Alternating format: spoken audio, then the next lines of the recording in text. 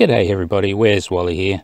Well, that guy, he's gone on a bit of a spree and I think we might have triggered him, big blue marble science guy, and me and Sean Hawkins. Let's see what sort of silliness he comes up with today. What's up everybody, that guy again. Making a quick video that seems to be necessary after reading the comments of my last video that 100% debunks the globe. Well, 11 seconds in, I've already got to stop him. Well, only in your self-reported mind. Do you even check your like dislike ratios, dude?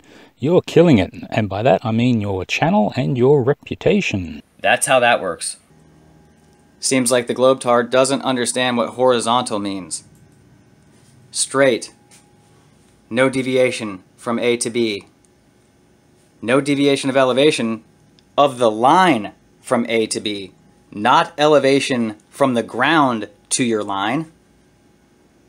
The line itself has no deviation of elevation.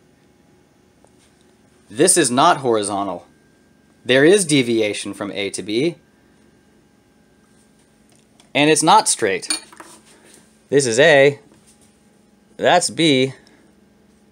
See the deviation?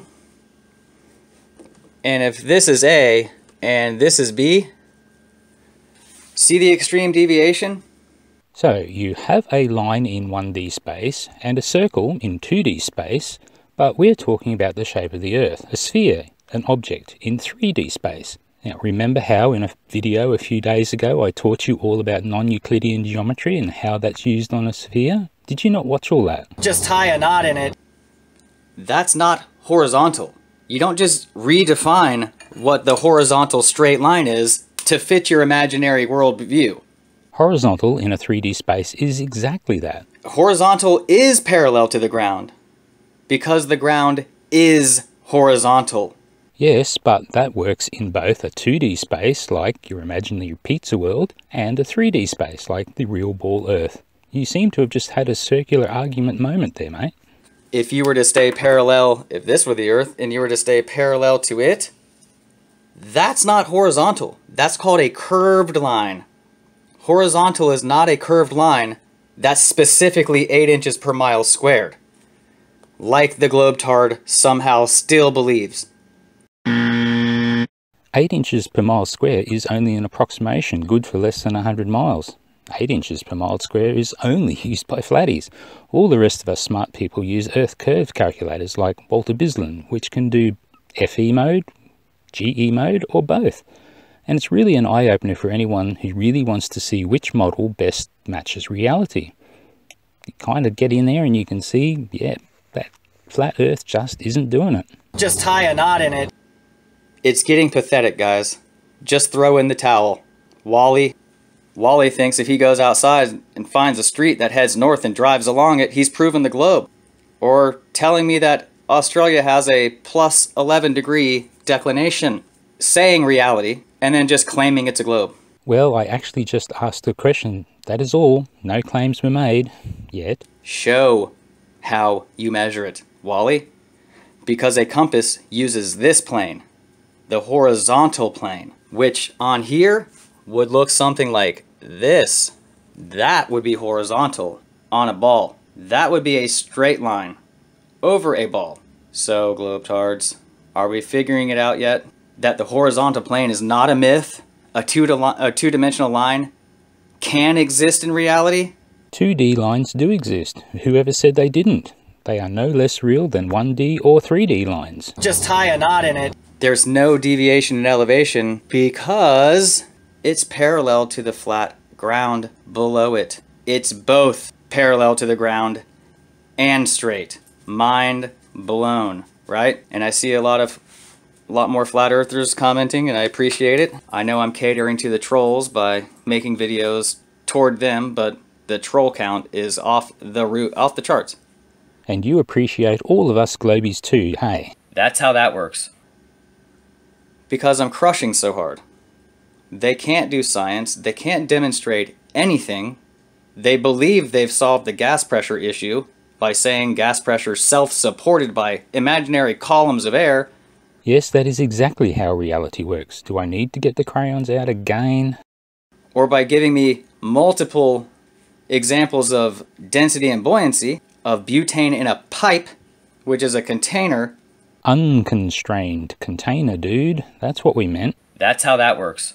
I don't think the atmosphere in your model is contained in a cylinder. Ooh, straw man alert. No one says that it's a cylinder, dude. Just tie a knot in it. Try proving your claim of no container anywhere.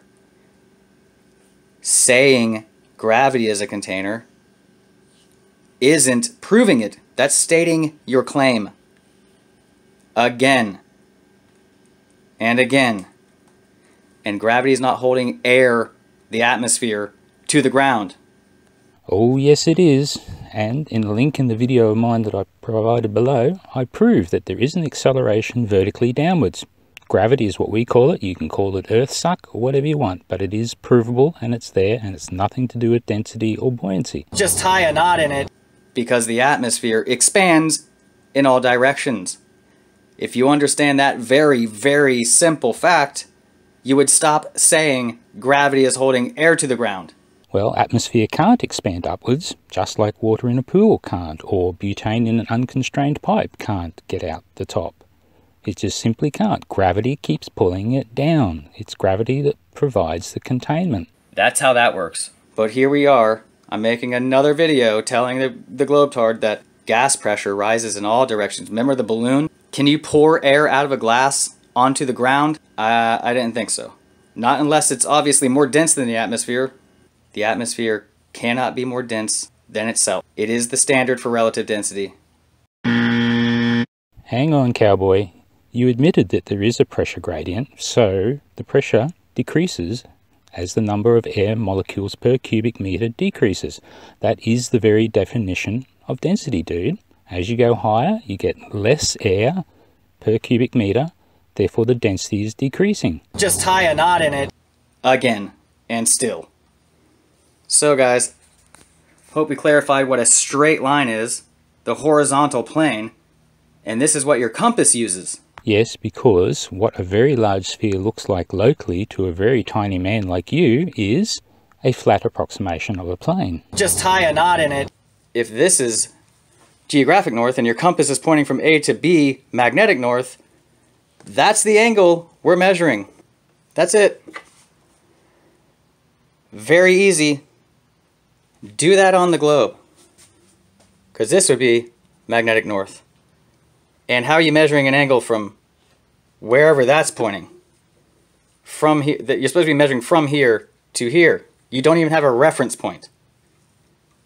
Well, you can use a 1D line to measure angles on a 2D plane. No worries, hey mate. So what would you say, that guy, if I told you that us science types use a 2D plane to measure angles in a 3D sphere? Do you see how that works? Well, the North Pole and the South Pole and the two tips of the compass are all coplanar. And when a plane intersects a sphere, you get a circle. Too easy, barely an inconvenience. Just tie a knot in it. And Wally, why isn't your compass pointing to magnetic south down there? My compass is coplanar, and it points to both north and south, just like all compasses all over the globe do. Compass should be working great in Antarctica, really close to the magnetic pole, just like it, it would work great in the North Pole. Wrong again. The South Magnetic Pole is where on this map? Not at the geographic South Pole, that's for sure. How many times can you be wrong in one video, dude? Can you even see where the magnetic South Pole is on this map? It's at around 70 degrees south. The South Pole's at 90 degrees south, so quite a way away yet.